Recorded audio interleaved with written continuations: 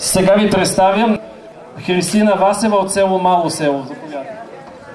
Тук ли си, мамаро? Я се пайдо влекох море да те видим. Ама много хубава си стена, море, Маро. Едно време твой мъж, като ме зазяпаше, ама ме зяпа като магари гърчаво теле.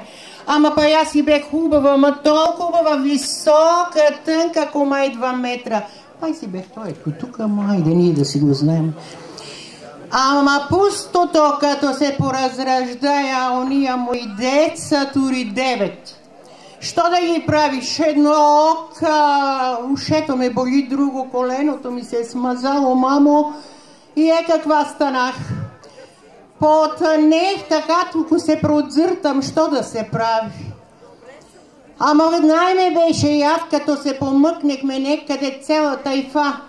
И тук ми рече некое, абе мамо, чекай да чекаме тата. Ма защо да чекам баща ви, ако съм го чекала до сега и вас да ви нема?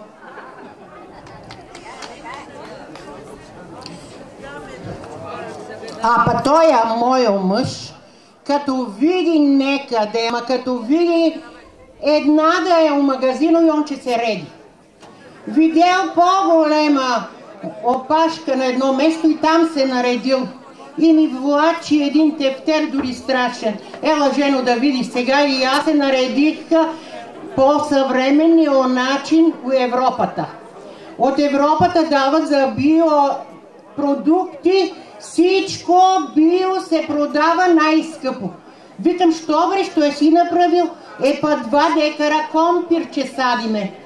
Леле, мамичко, какво че е, бе, да съм гула кучка да ти се обира бумбарието, бре.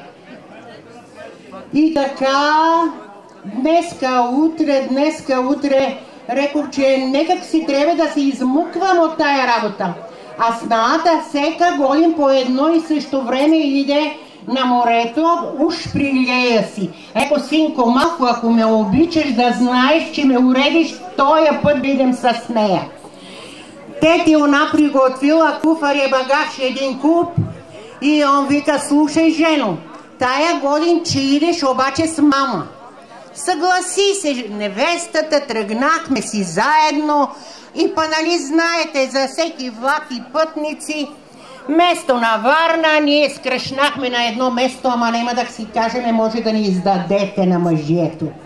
Така, че си поминахме, бре, идехме на дискотека, па там било много хубава работа, бе. Отевното не се види дали съм млада, дали съм тънка, дали съм дебела. Рипай там колко си знаеш, ама жонека събира бумбарието по компиро.